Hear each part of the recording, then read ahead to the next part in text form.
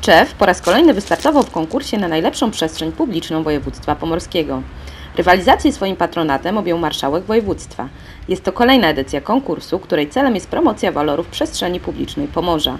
W tym roku w ramach konkursu oceniane są przedsięwzięcia zrealizowane w przestrzeni publicznej, w szczególności polegające na rewitalizacji lub ukształtowaniu nowych wartości, które zostały zrealizowane w okresie od 1 stycznia 2011 roku do 31 grudnia 2012.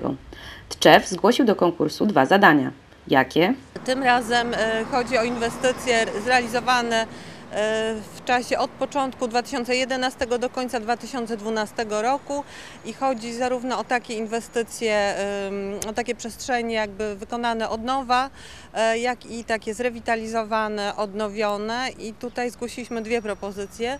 Pierwsza to zintegrowany węzeł transportowy, a druga to nasze planty miejskie, czyli e, szlaki spacerowe, widokowe i szlak forteczny.